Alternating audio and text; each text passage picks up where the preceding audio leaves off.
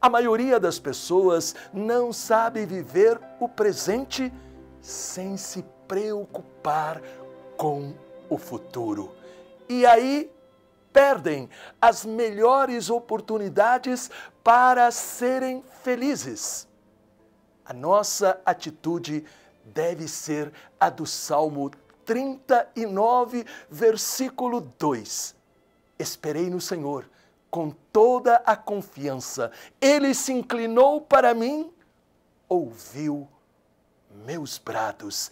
Estas palavras nos dão a certeza de que Deus nos dá a graça suficiente para cada dia, mas Ele não dará graça para o dia de amanhã até que chegue o amanhã. Assim, frequentemente, as pessoas se preocupam com algo que nunca talvez acontecerá. Quando você começa a pensar: e se a porta se abre para o medo e a ansiedade? A preocupação de algumas pessoas é tamanha que se transforma em medo e frequentemente as coisas que as pessoas temem manifestam-se em sua vida. Não se permita temer o amanhã Apenas saiba que Deus é fiel. É confortador saber que, apesar de tudo que o amanhã possa trazer, Deus está no controle sobre o amanhã. Sua graça é suficiente para suprir as necessidades que surgirem. Não desperdice a graça de hoje ao preocupar-se com o amanhã.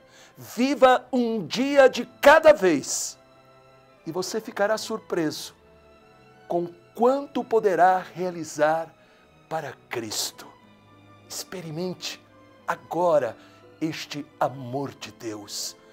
Pai, eu peço em nome de Jesus que cada um destes meus amigos e amigas com a força do Espírito Santo, possa aprender a viver o hoje e a crer que o amanhã está nas tuas mãos. Pai querido e Pai amado, acalma todas as tempestades interiores sobre o futuro e dá a certeza do teu amor. Amém. Você sabia que a história de uma pessoa não começa somente no momento que ela é gerada no ventre materno? Existe uma bagagem hereditária que transmite características físicas, morais e espirituais dos antepassados. Deus não deseja que soframos por causa de heranças familiares.